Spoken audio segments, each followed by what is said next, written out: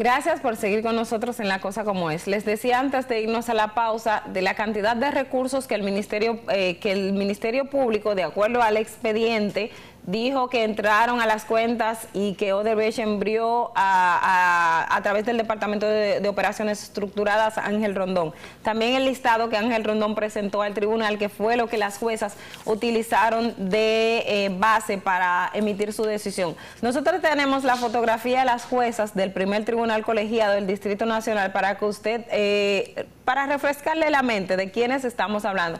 Usualmente la gente se concentra más en la Suprema Corte de Justicia, de los jueces de la Suprema Corte de Justicia. Miren, en los tribunales ordinarios es realmente donde está la mayor carga del sistema judicial dominicano y ahí se emiten decisiones que son trascendentales y son las que toman eh, de base para cualquier situación que haya en nuestro país. El Tribunal eh, Colegiado del Distrito está precedido por las magistradas Giselle Méndez, eh, está integrado por la magistrada Giselle Naranja, Naranjo y Tania Yunes, que son las tres juezas que tuvieron que analizar este expediente Odebrecht, que recuerden que para entonces emitir la decisión de que... Eh, del descargo en favor de estas de las otros cuatro imputados analizaron un sinfín de documentos. Y en estos documentos y por eso es importante a la hora de judicializar por eso es el tema de la prescripción de actos de corrupción en República Dominicana es muy importante. Ya podemos bajar acá. Eh, es muy importante. ¿por qué? porque las juezas eh, para emitir el fallo establecieron que hay delitos que prescribieron por el momento en que pasó y que ya no se podía aplicar la norma y al establecer esa, esa prescripción hay recursos y hay transacciones y hay movimientos que ellas no contemplaron para, para hacer referencia a la decisión que emitieron con relación al señor Ángel Rondón. ¿Por qué? Porque no, no, no, no, no correspondería al, análisis equitativo de una sentencia judicial. Eso es la parte perjudicial, por ejemplo, cuando tenemos delitos que son prescriptibles, como la corrupción. Existe un debate de que sí o, de que no, pero actualmente en en República Dominicana hay lo que es la prescripción del delito. Vamos entonces a ver en el expediente, como ya les mencionaba anteriormente, lo referente a las transacciones y los recursos que recibió, eh, que recibió la cuenta del señor Ángel Rondón. Y quiero empezar por, nuevamente, vámonos a la página 1950. En la página 1950, en el punto 68, que entiendo que es un punto importante a destacar, dice que la relación de los movimientos de las cuentas del señor Ángel Rondón Rijo registran además de las cantidades que ya se, habíamos identificado. Las 107 transacciones de débitos de cuentas por el valor que ya habíamos que se había mencionado, aun cuando estos montos fueron colocados a su vez en una columna tildada en efectivo, lo que nos permitiera inferir que así fueron egresados, no hemos localizado instrucciones escritas respecto de estas transacciones que nos permitan establecer con certeza esta premisa. Por lo tanto, estos valores que bien pudieron ser entregados en efectivo no han sido incluidos en el total establecido en el párrafo precedente. El párrafo precedente dice que los valores ingresados al sistema financiero nacional del Banco Múltiple de las Américas en el periodo comprendido entre agosto de 2008 y febrero de 2014 fueron retirados en efectivo la suma de 700 707 millones 148 mil 162 pesos y 3.864 eh, 3.864 dólares con 714 eh, dólares, es decir, 3 mil, 3 millones, perdón, 864 mil 714 dólares. Es lo que se retiró a través de la cuenta del Banco Múltiple de las Américas en efectivo. ¿Qué detallan las juezas con relación a las transacciones en efectivo que se retiraron de las cuentas? En la página 1957, vamos a la parte final. Como se puede apreciar, a partir de las reflexiones previamente desarrolladas y de las operaciones conjuntas y armónicas de las pruebas aportadas en estricto apego a la, santa, a la sana crítica racional, es decir, a la regla de la lógica, los conocimientos científicos y la máxima de experiencia, esta instancia eh, colegiada ha podido establecer como premisa cierta, es decir, que es verdad, que en el periodo comprendido entre junio 26 y agosto del 2000, de 2008, en el que se aprueba en el Senado de la República el contrato de financiación para el valor de 8, millones 966 mil dólares, el contrato para, la, para ser utilizado por la constructora en la etapa del proyecto hidroeléctrica Pinalito, en la página siguiente, seguimos, y el convenio de cesión de enmienda de los contratos de la construcción y financiamiento de la autopista del Coral, ingresaron al sistema financiero nacional la suma de un millón catorce dólares.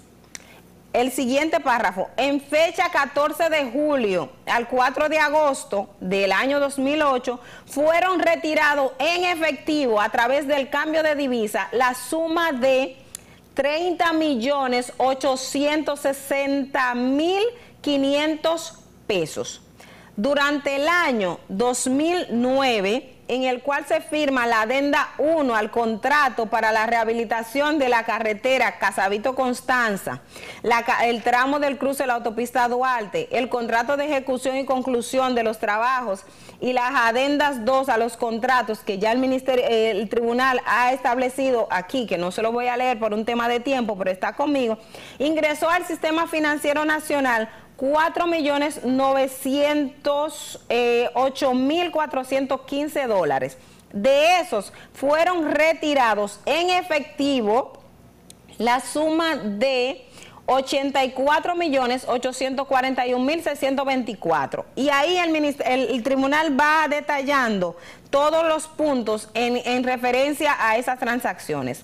En el punto 75 de esta misma página dice, se verifica solo en esos cuatro años, 2008, 2009, 2010, 2011, el total de valores ingresados al sistema financiero nacional a través de las transferencias realizadas por las offshore y que fueron retirados en efectivo la suma de 300 26 millones 236 mil 471 dólares. Se retiraron también 1 millón 264 mil dólares. Fueron retirados a nombre de la Chancol del Sistema Financiero Nacional.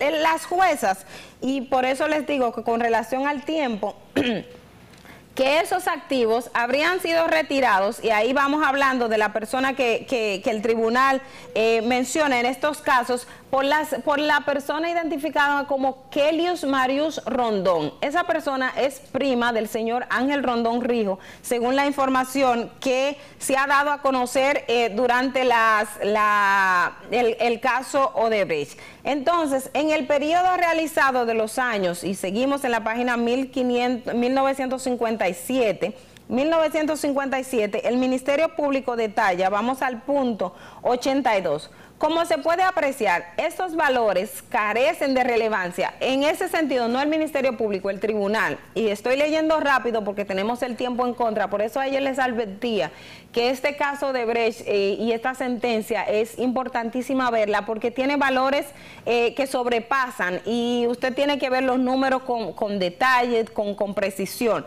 Pero yo quiero porque las juezas hablan de la relación del señor Ángel Rondón y sus empresas, pero los montos, según ellas, que el señor Ángel Rondón recibió de Odebrecht como pago por las acciones que él habría ejecutado en su calidad de, consorciado, en su calidad de, contratista, eh, todo eso, esos montos no son, son inferiores a lo que ingresaron al sistema financiero nacional. Y entonces, en el punto de, eh, vamos, como ya les explicaba, en la parte, en el 79, 1900, en la página 1955 dice, de este sustento de, la acusación, el imputado ha sometido a la ponderación del tribunal las certificaciones y constancias de pagos impuestos internos a la tesorería y de todos los recursos que recibió de eh, la constructora Norberto Odebrecht. En la página siguiente, el, tribunal establece que como se puede apreciar en la, en la, siguiente, en el punto 82,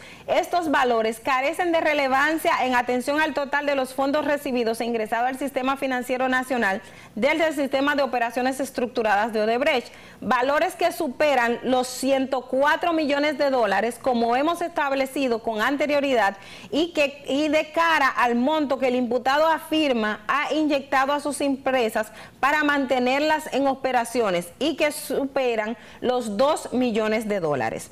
En el periodo eh, analizado 2008 al 2011, solo se registra una transferencia por valor de 500 mil dólares a Hacienda Los Ángeles, que es una de las empresas del señor Ángel Rondón. Una transferencia a consultores y contratistas Conamsa por 2 millones de dólares. Una transferencia a Conamsa Internacional por 4 millones de dólares. Es decir, los montos que el ministerio, que Ángel Rondón dijo que recibió a sus empresas que tenían contrato con Odebrecht no se corresponden a la cantidad de dinero que efectivamente sacaron del sistema financiero nacional y que fueron entregados en efectivo.